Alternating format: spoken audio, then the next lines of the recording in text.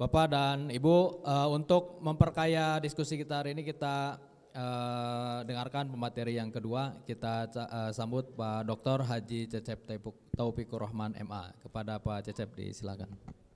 Baik, terima kasih Dokter kita. Bismillah. Assalamualaikum warahmatullahi wabarakatuh. Alhamdulillah, salatu wassalamu ala rasulillah Muhammadin bin Abdullah wa ala alihi wa ashabihi wa mawalah. Amma ba'd.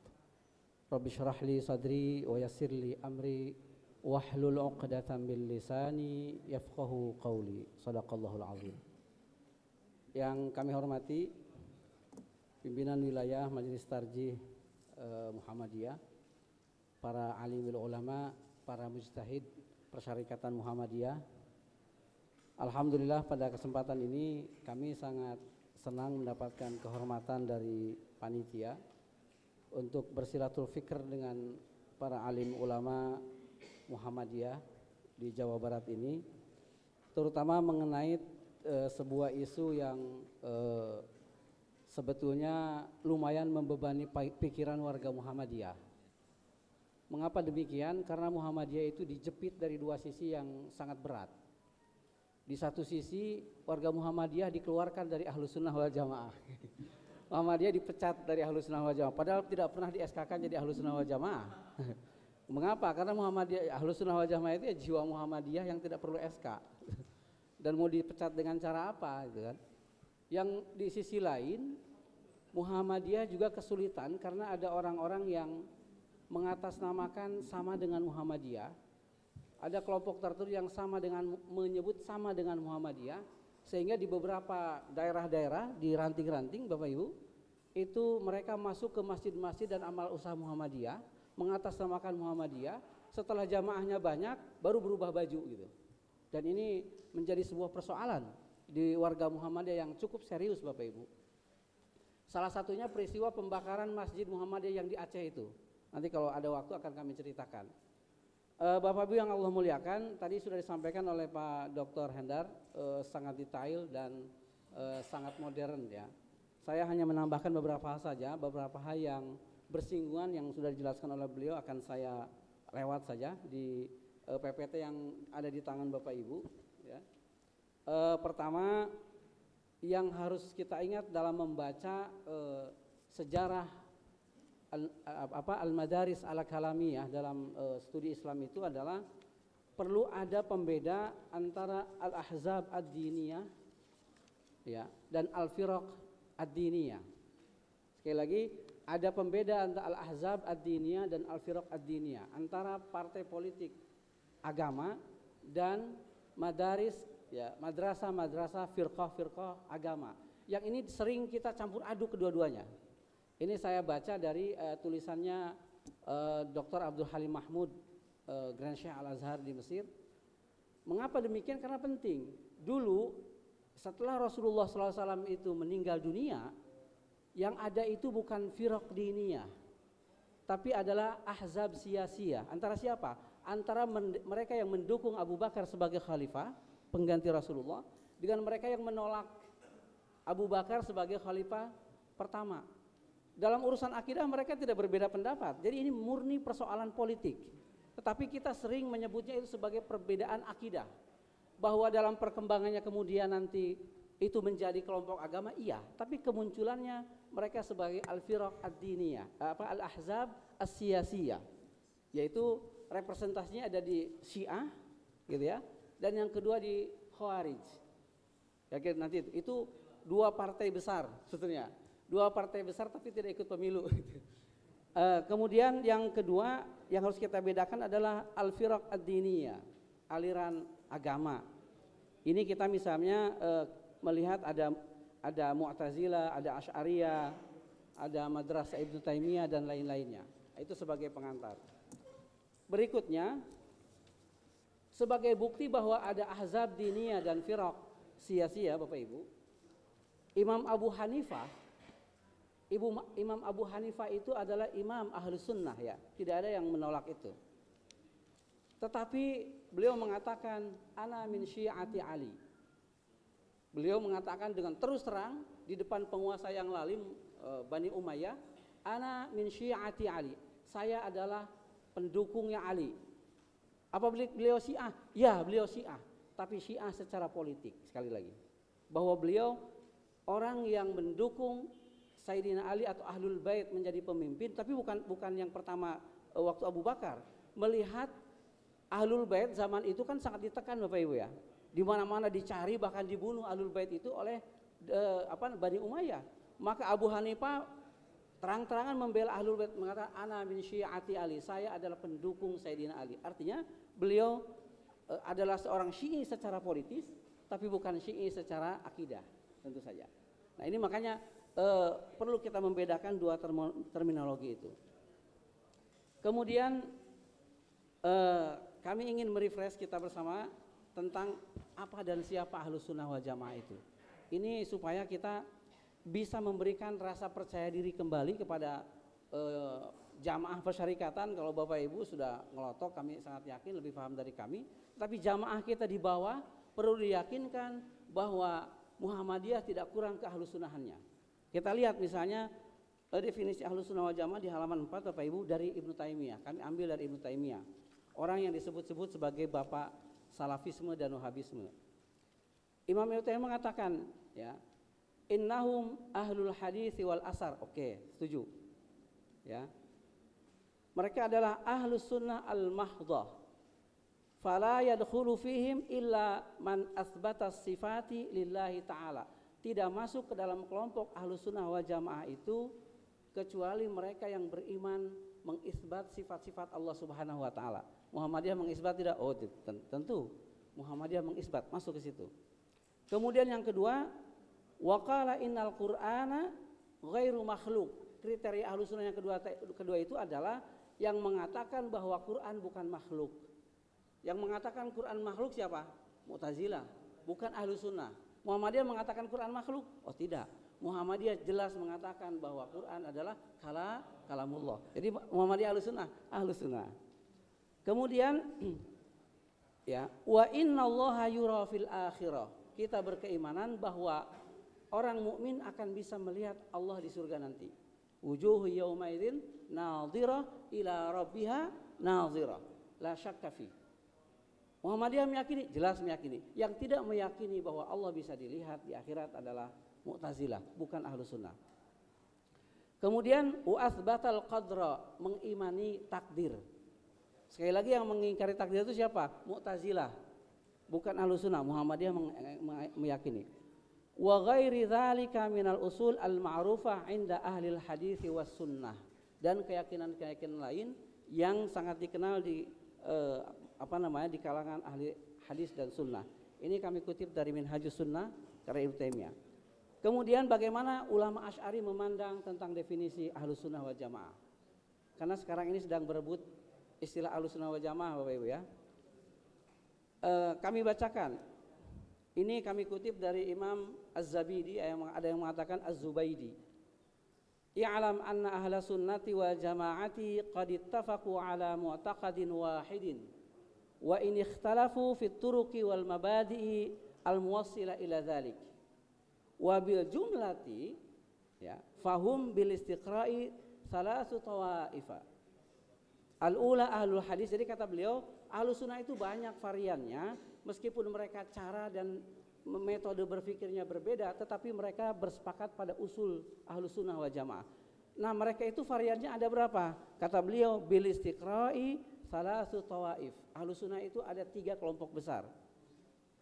Pertama adalah ahlul hadisi, ahlul hadis. Wa mu'tamadu mabadihim al-adillas al-adillatu sam'iyatu anil kitaba ya was sunnata wal ijma. Nah ini tadi sudah sebut-sebut bahwa e, sumber mereka itu adalah Al-Qur'an atau Alkitab was sunnah dan ijma. Ini tadi sudah disebut dijelaskan. Kemudian yang kedua adalah ahlun nazar al-aqli was sina al-fikriyah. Orang yang banyak menggunakan rasio ya dan kemampuan berargumen rasional. Siapa mereka? Wahum al-Asy'ariyah wal Hanafiyah wa Syekhul Asy'ariyah Abdul Hasan Al-Asy'ari wa Syekhul Hanafiyati Abu Mansur Al-Maturidi. Ya. Saya lewat saja karena waktu kita. Kemudian yang ketiga adalah ahlul wijdani wal kashfi minas sufiyah. Jadi kalangan sufi itu juga ada yang ahlu sunnah wal jamaah, tentu dengan dengan kriteria-kriteria yang tidak akan kami bahas di sini karena bukan pada makomnya. Dan tentu saja kalau kita lihat Muhammadiyah bisa masuk ke dalam tiga kriteria ahlu sunnah wal jamaah yang disebutkan oleh Al Imam Az-Zabidi dalam Ittihad Ittihad uh, As-Sada Al-Muttaqin syarh Ihya Ulumuddin ini. Berikutnya Bapak Ibu, nah yang menggembirakan adalah apa yang disampaikan oleh Grand Syekh Al-Azhar sebagai uh, tokoh muslim dunia di Mesir bahwa ketika terjadi perdebatan antara istilah mana sunni dan bukan sunni antara siapa yang berhak e, menyebut dirinya sebagai ahlu sunnah wal jamaah ada sebuah konferensi di e, di Kazakhstan tahun 2016 lalu di mana itu konferensi tentang ahlu sunnah wal jamaah di mana mereka menyebut bahwa salafi salaf atau atba'us salaf as-salih itu tentu adalah sebagai ahlu sunnah wal jamaah mengapa karena pada prinsipnya Imam Abu Hasan Ash'ari pun adalah salafi.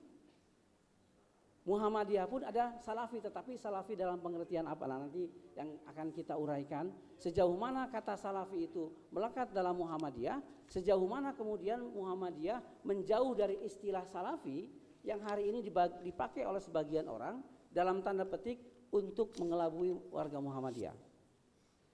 Nah, yang yang paling rinci Bapak Ibu di halaman 5 ini Imam Ahmad bin Hambal, Imam ahli sunnah yang kita tidak meragukan kredibilitas beliau radhiyallahu anhu beliau menjelaskan kriteria ahlu sunnah wal jamaah sangat detail.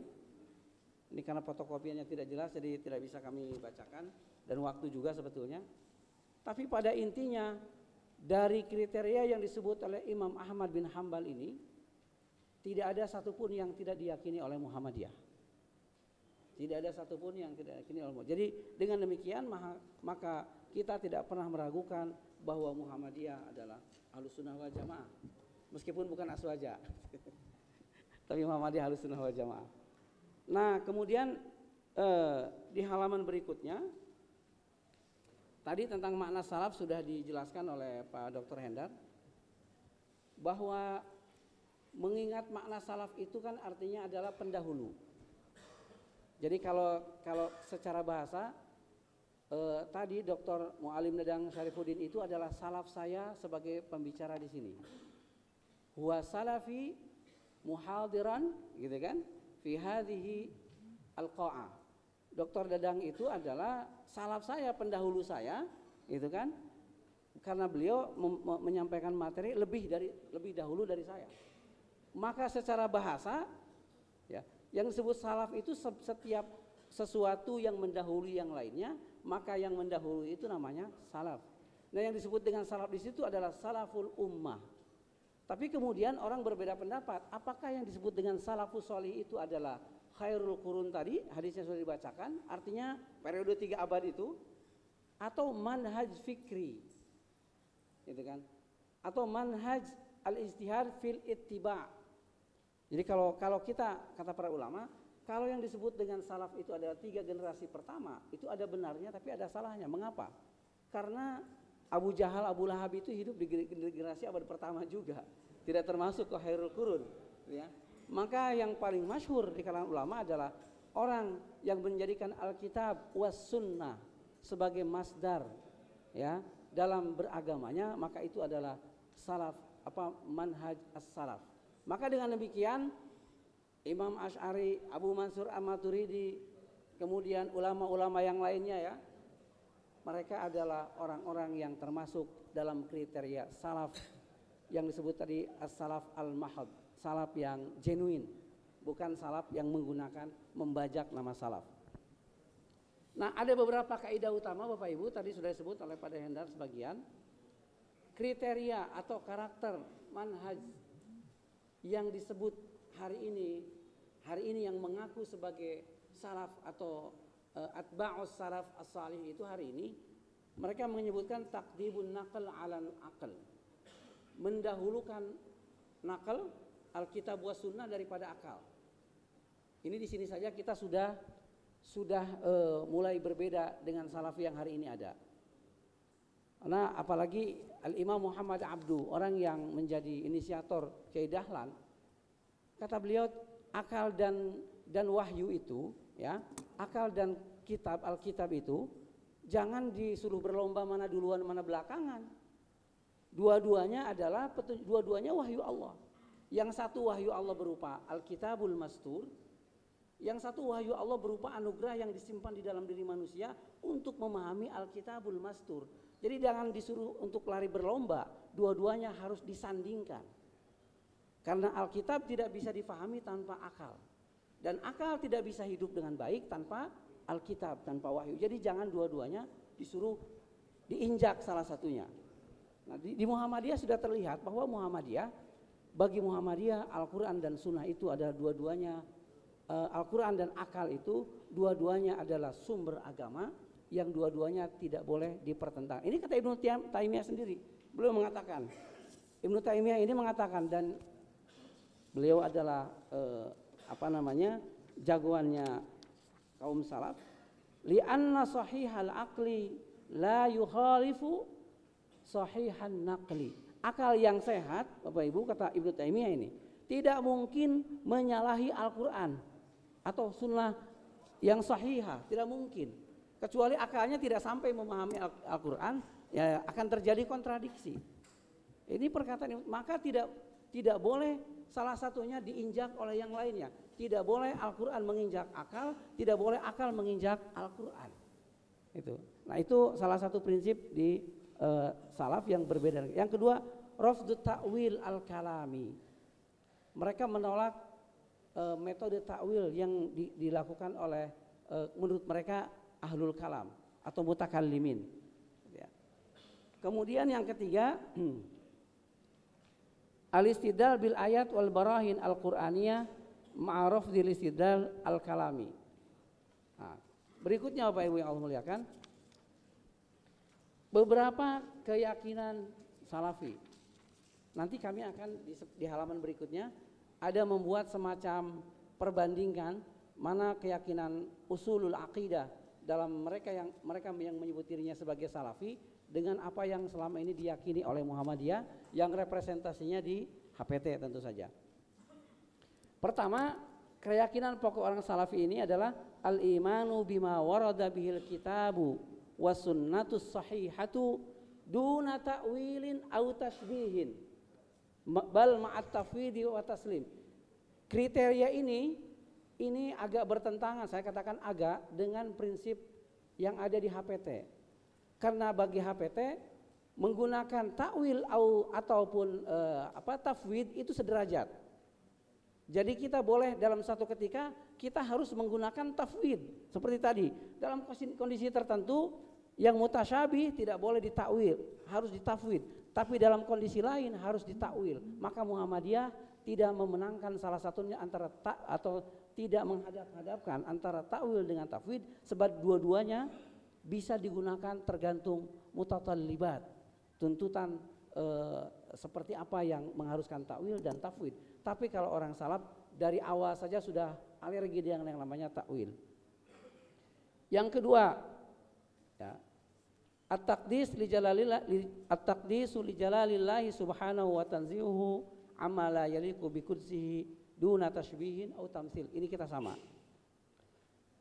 Kemudian oh 10 menit lagi. Ya, saya bacakan saja. Yang saya bacakan yang berbeda dengan kita.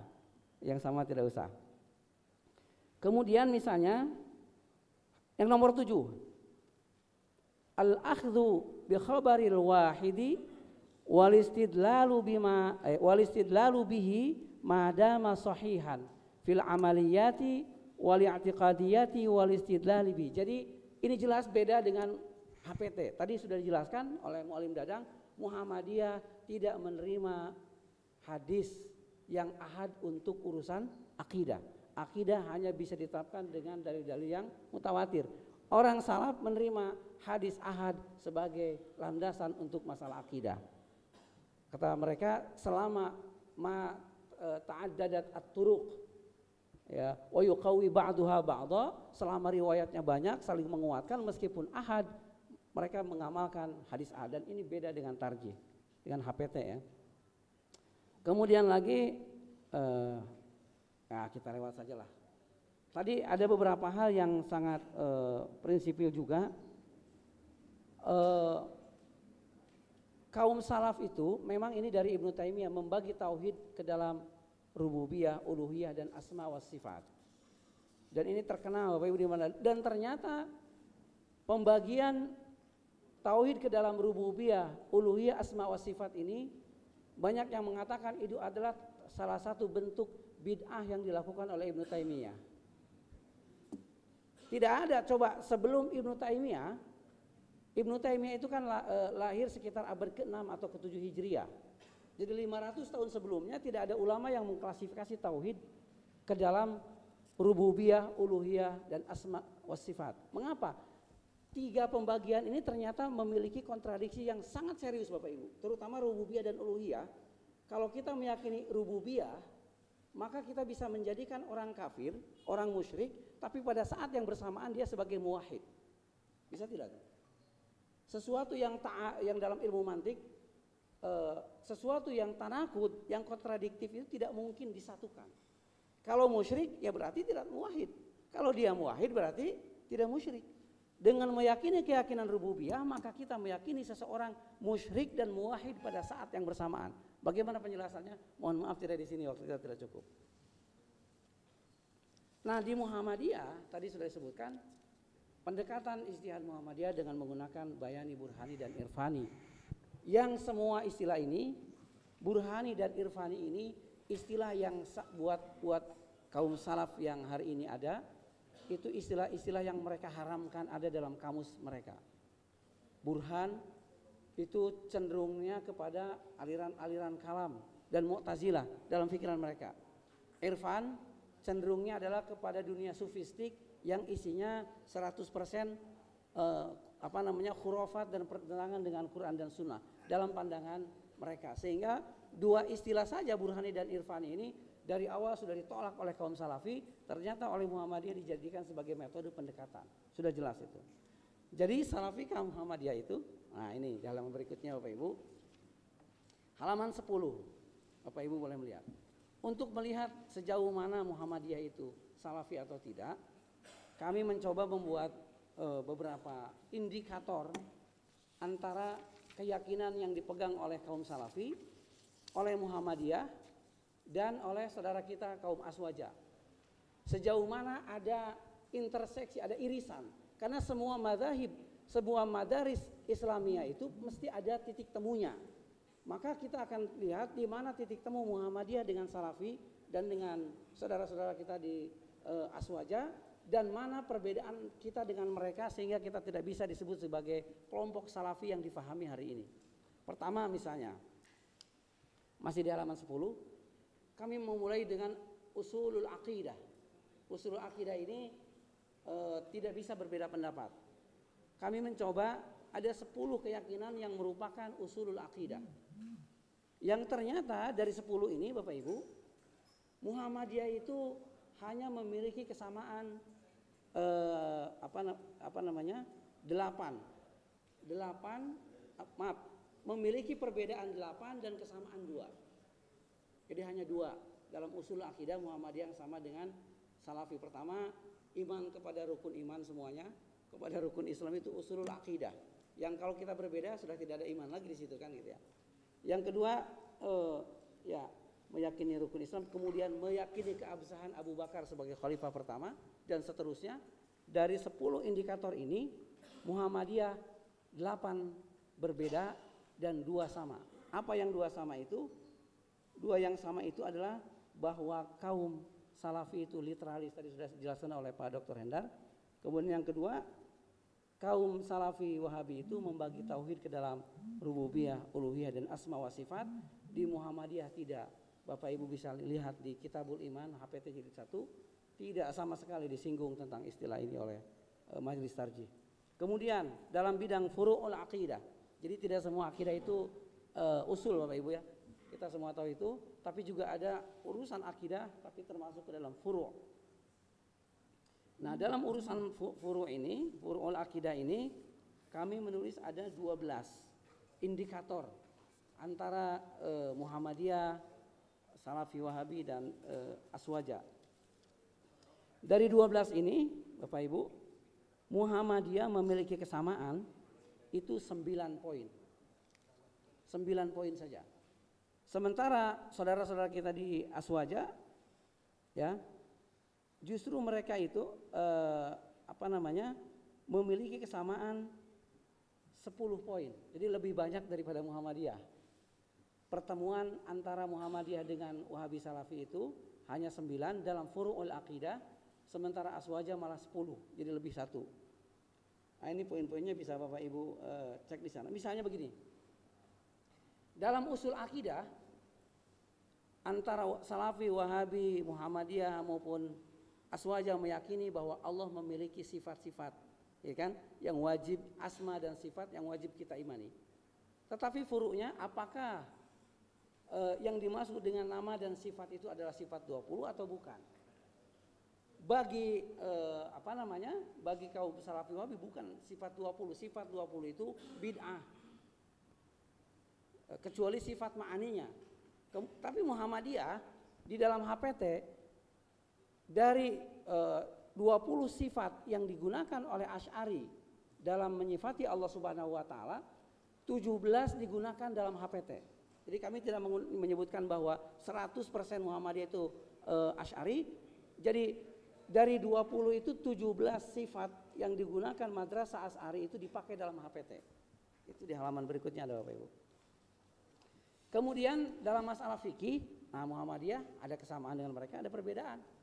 Kan suka disebut Muhammadiyah itu Salafi Wahabi. Ternyata saudara kita itu lebih dekat ke Salafi Wahabi. Karena mengapa? Mereka mengelabui kita bahwa kaum Salafi itu sama dengan Muhammadiyah itu dengan urusan-urusan furu al-fikih. Urusan fikih saja. Muhammadiyah tidak kunut, mereka tidak kunut.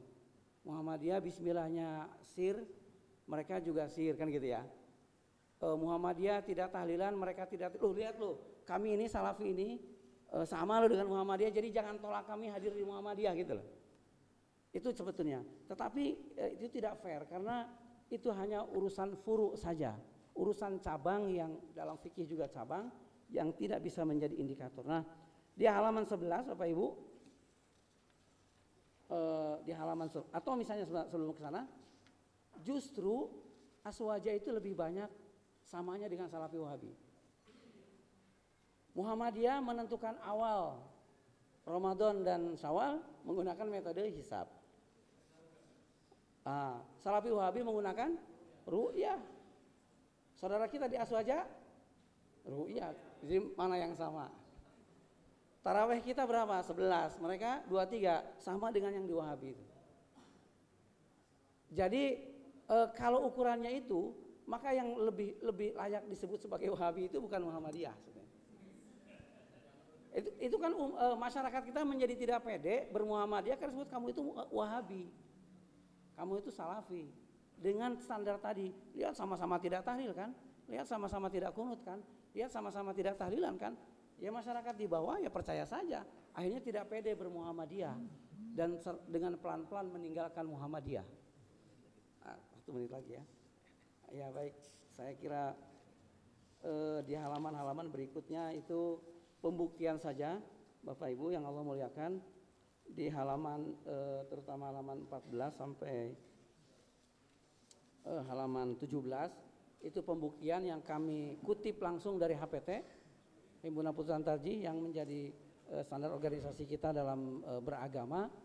Bukti bahwa di situlah ada kesamaan justru Muhammadiyah itu dengan kelompok Aswaja Ahlus Sunnah madhab Ash'ari dan Maturidi daripada dengan mazhabnya Ibnu Taimiyah. Dalam terutama dalam uh, asma was sifat. Dengan demikian maka uh, kami sampaikan bahwa Muhammadiyah kalau disebut sebagai salafi, Muhammadiyah adalah salafi manhajan karena Muhammadiyah uh, mendasarkan pada kitab dan sunnah tetapi makna salafi yang benar, yang genuine, yang mahat, bukan salafi yang dibuat-buat seperti hari ini. Kalau yang dibuat standarnya hari ini, maka Muhammadiyah bari atun minal wahabiyyin wassalafiyin. Nasrul minallah fatun qaribu basyiril mu'minin. Wassalamualaikum warahmatullahi wabarakatuh. Waalaikumsalam. Kita beri tepuk tangan kepada Prof. Pak Dr. Cecep.